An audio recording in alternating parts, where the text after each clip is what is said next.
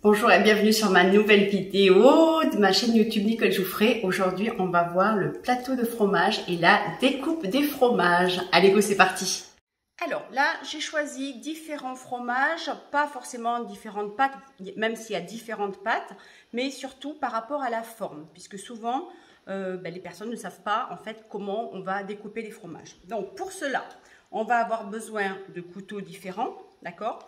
Un par fromage. Et puis, on va, avoir besoin aussi de différents couteaux. Donc là, je vous donne un exemple. Par exemple, on a un couteau avec des dents, un couteau aussi avec des dents. Ici, c'est normalement pour euh, pouvoir en fait le piquer. Mais même si ça, normalement, ça ne se pique pas. On va avoir aussi celui-ci sans dents pour piquer. Et puis, on va avoir par exemple ce genre de couteau que j'aime bien parce que je trouve ça euh, assez rustique, mais euh, assez sympa sur, sur un plateau de fromage. Alors, comment on va couper? On va commencer par les plus simples. Donc là, par exemple, on a un reblochon. On va avoir dans la même forme le camembert, par exemple. Donc, très très facile. Au début, on va prendre, partir du milieu. Voilà, on va bien faire. On va le tourner si on souhaite ou pas et proposer au client une part. Alors, attention, normalement, sur une assiette, une assiette où le menu est compris, une assiette ça va à peu près être entre 30 et 50 grammes le fromage. Sur une assiette qui est en supplément, on va partir 80 grammes à peu près. Sachant que pour vous repérer, 30 grammes, c'est à peu près une portion de camembert. Donc là, par exemple, je vais partir comme ceci. Je vais, comme la tarte, découper ici. Et j'hésite pas à tenir.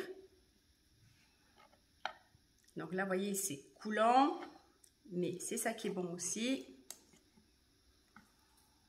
Et je vais le déposer dans mon assiette. Ensuite, on va avoir donc ça. Après, vous continuez comme ceci. On va avoir là un valencé, fromage de chèvre, donc comme une forme de pyramide. Pareil, c'est un peu le même système, mais je vous le montre quand même.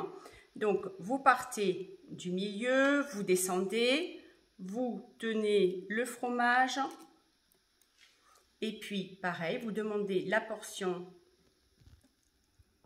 à la personne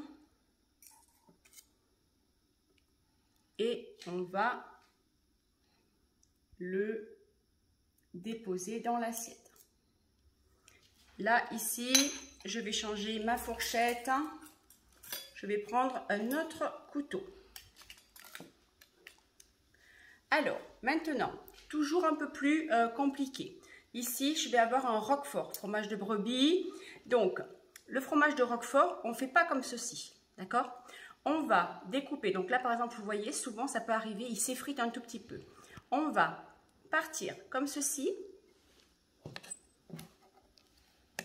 Donc, vous voyez, là, il s'effrite. Ce n'est pas grave. Hein, on le reconstituera dans l'assiette. Si ça vous arrive, j'hésite. Et puis, après, comme ceci, donc je vais vous montrer la découpe totale du, du roquefort. Voilà. Et vous voyez, ça permet en fait à tout le monde d'avoir du persillé et du non persillé. Donc, en fait, vous partez ici du centre et vous partez comme ceci. Voilà, ça c'est la découpe, on va dire, réglementaire du roquefort. Vous voyez, là par exemple, ça s'effrite un tout petit peu, c'est pas grave du tout. Je vais le déposer dans mon assiette et je vous montrerai à la fin. Alors là, je vais aussi... Donc, sur un plateau de fromage, vous pouvez complètement laisser les couteaux sur le côté, etc donc pas la lame vers le client. Après, alors pour le compter, c'est toujours un peu plus délicat. Donc le compter, donc je vais partir comme ceci, comme ceci, comme ceci. Et après, au moment où je serai à ce niveau-là à peu près, je vais partir, en fait, soit je vais partir comme ceci, pour qu'en fait tout le monde puisse avoir un peu comme le roquefort, d'accord? Donc, ou alors, je vais pouvoir faire d'autres morceaux. Donc, je vous montre. Je vais couper. je vais couper.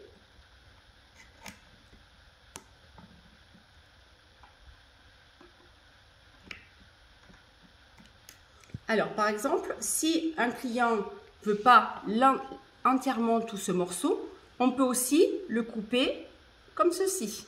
Voyez, pour faire des parts un peu plus petites. Ensuite, je vais donc, soit je vais pouvoir partir comme ceci, soit je vais aussi pouvoir, sans problème,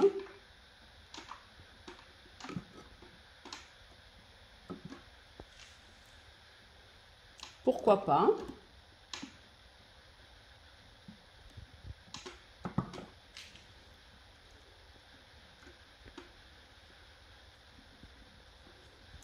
on peut re-recouper après sans souci.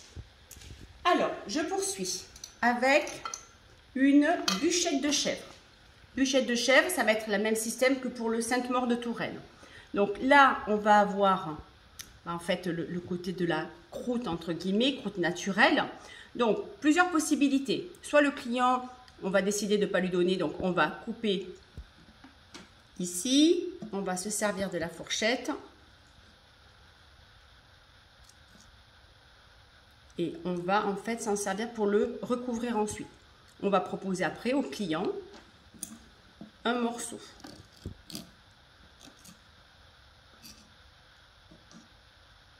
Donc là, je fais attention de ne pas piquer.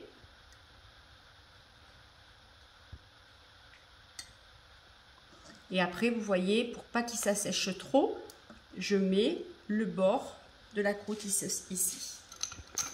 Ensuite, plus que deux, Alors, le bris. Le bris, c'est très très facile. Vous démarrez comme ceci. La pointe. Après, je peux faire aussi en fonction des parts. Hein. Comme ceci. Comme ceci.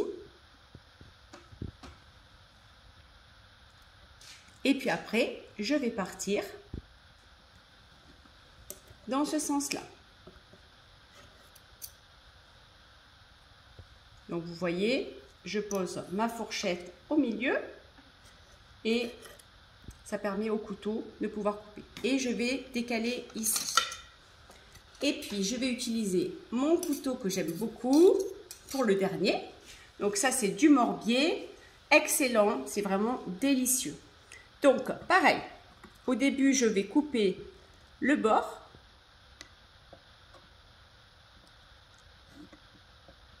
le bord,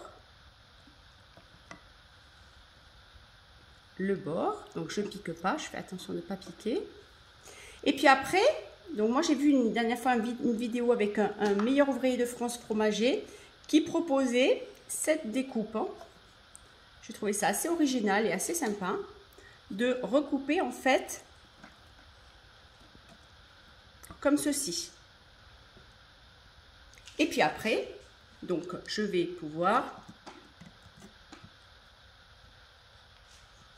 couper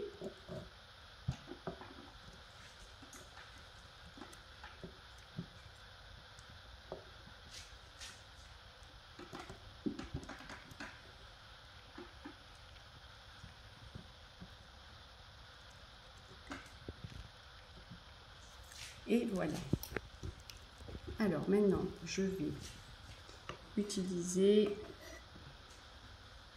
les différents couteaux.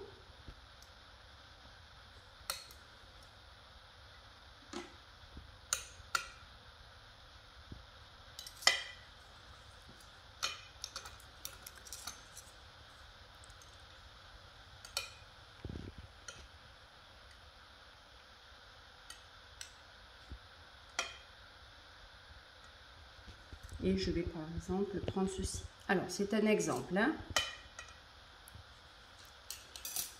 Alors, donc quand je vais servir mes fromages, je vais toujours en fait proposer au client un, euh, un rôle de dégustation. Alors en fait, un sens de dégustation.